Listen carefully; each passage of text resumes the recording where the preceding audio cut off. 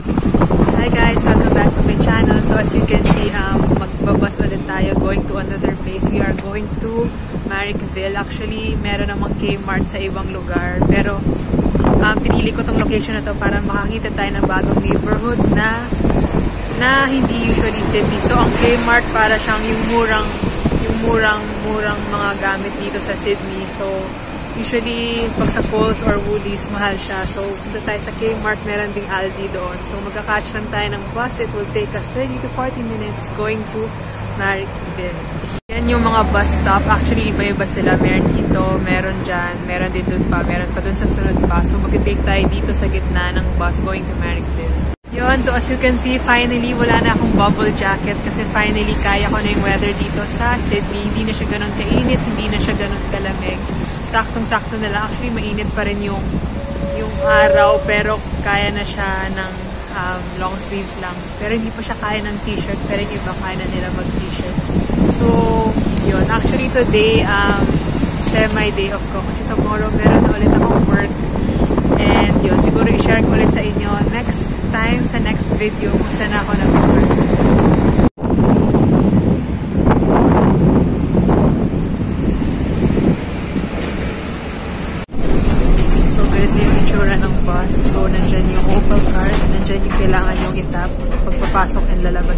Sure to tap on and tap off.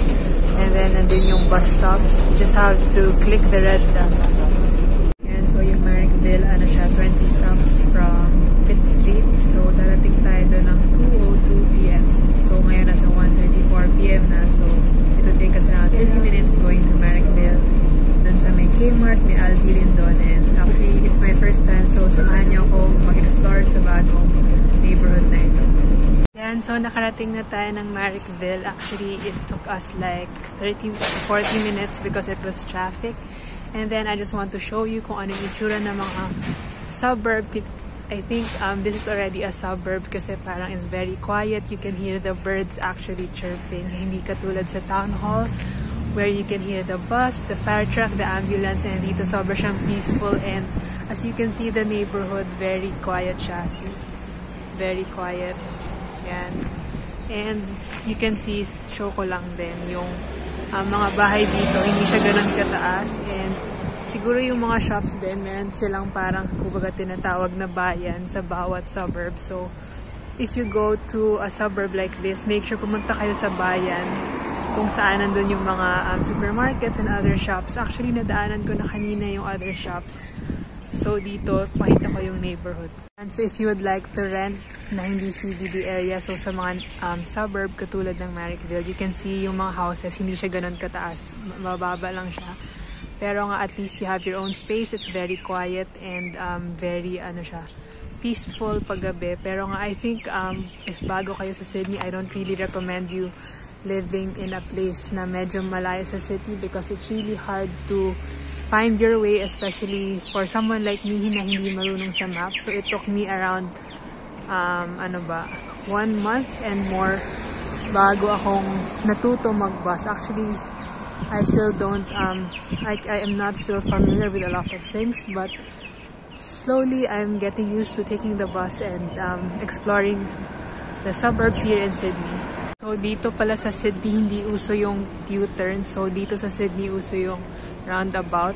So, yan, iikot, um, iikot kayo dyan sa circle na yan. And then, as you can see, um, merong um, new trains na ginagawa yung Sydney para mas madali makarating dito sa Marrickville. So, this is the parang shopping center of the Marrickville area. So, dito merong Coles, merong Kmart, merong Aldi. Yun yung Aldi. Yan. So, ito yung Kmart. Kung makita.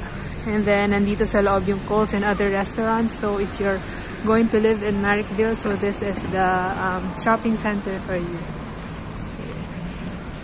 So. We're just going to enter the mall.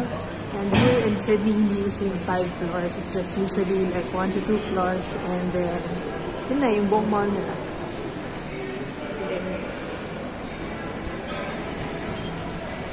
And dito sa shopping center, you also have Woolies. So if you want something more parang premium or parang more organic and more um, variety, not the usual um, meat, You also have it here, and then they also have a bake shop here, bake shop there, and then uh, meat products here. And the big, big difference na if you go to a suburbs like this, um, you'll be the only Asian in this because most of them are Australians and you won't really see them in the city because they usually live in the suburbs and they usually go to places like this. So if you are in Town Hall or in the CBD area like Wynyard or like Chinatown or um, Martin Place or yung QVB area, it's mostly tourists and mostly um, yun nga, Asian people, Thai, Indonesian, Vietnamese, and you won't really find um, locals in those areas. So it's really nice to go to the suburbs because makikita mo rin yung culture ng mismong Australia and you would really know um, how they um, live their life here every day in Sydney. And so ito na yung Kmart. So hindi ko alam dati na ang mura pala dito. I've bought so much sa ibang locations. And here you have everything. You have from home appliances to to clothes to everything is here. I think this would be similar to parang Target in the US. Pero parang um, I think ito yung um, go-to place ng Australians for if they're looking for something cheap, something affordable, and something with good quality. So if you are in Australia, make sure to drop by any Kmart store. So in Kmart, you also have bags, you also have accessories, you also have ponytails, and these are other items. You also have um, ba, sanitary products, beauty products, and everything that you need is really here. So there's also socks here. here. So here, of course, meron din um, women's clothes. You also have it here. And of course, our favorite area, the storage, storage home area here. We also have um, more over here. So this is actually my favorite section because wala lang masaya tumingin and um, I'm not I'm not actually buying because I don't have I'm just renting but it's also a nice place to look and get inspired for more designs and for future um wala lang decorations at home and here and of course let's not forget about the kitchen area here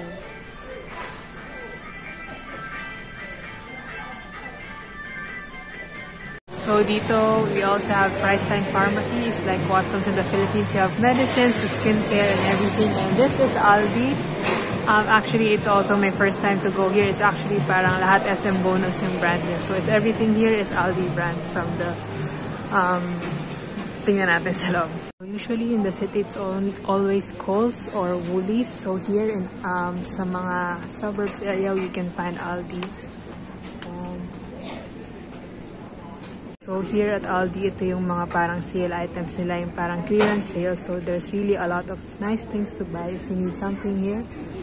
So and they have um, cat food, clothes. They also have um, ito yung mga food items from cashews, Tim Tam, butter chicken, and a whole lot more. There's also coffee here at Aldi for um, clearance sale.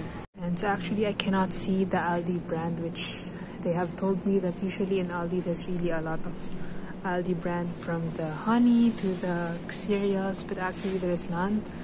I couldn't actually find it but um, I think um, the options here are very different from Coles and Woolies and I think it's really something um, nice to see and nice to explore.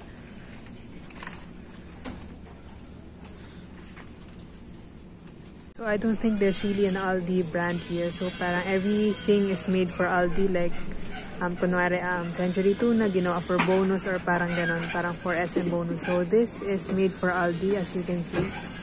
It's also Aldi is for Aldi. And then you also have a dishwashing liquid here. It's also um, parang packaged and manufactured for Aldi. Yeah. So, yeah. Even this, this dish laundry liquid is made for Aldi. Here. You can see. And it's very cheap. It's only 1.49 Australian dollars compared um, if you buy like in Coles or it's usually like 15 to 20 plus Australian dollars. So that is the end of the vlog. I hope enjoy. I hope you have enjoyed um, shopping with me and um, um, touring, touring, touring parang exploring the suburbs with me. So don't forget to like and subscribe this video if you have enjoyed it and comment down below na rin if ano yung mga gusto nyo pang makita. So, I will be having work again next week. So, I'll be quite busy again. But I'm always open to any suggestions, suggestions that you have for my channel. Thank you and